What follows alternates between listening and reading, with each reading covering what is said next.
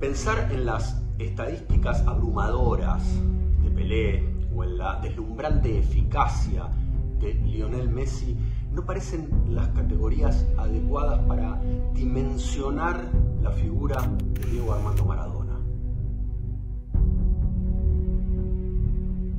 Su magia de malabares con la pelota, su inteligencia táctica dentro juego y su capacidad para definir con su sola presencia un partido son los rasgos principales de una personalidad que ha trascendido largamente el ámbito futbolístico. Diego nació el 30 de octubre de 1960 en Villa Fiorito. Es el quinto hijo de una familia originaria de la localidad de Esquina, en la provincia de Corrientes.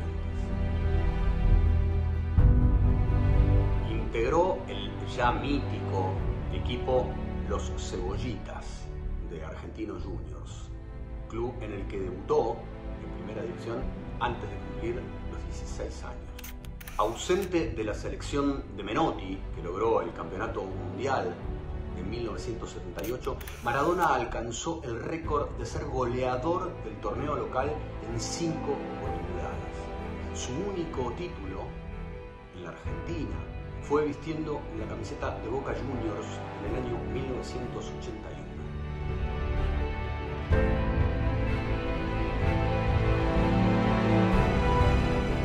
Diego deslumbró a Europa desde su debut en el Barcelona y consagró su capacidad de liderazgo al conducir al Napoli a dos escudetos y a la Copa UEFA.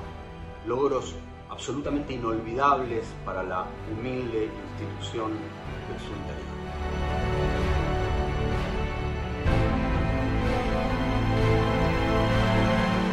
En 1979 había sido campeón del mundo juvenil con la selección argentina, pero el Mundial de 1986 lo colocó en la cima del fútbol internacional, con la conquista del título y la autoría del gol del siglo contra los. Los claroscuros de su vida privada, como el de cualquiera, no lograron opacar la dimensión mítica de su persona, símbolo del orgullo nacional y de arrogancia ante los prepotentes.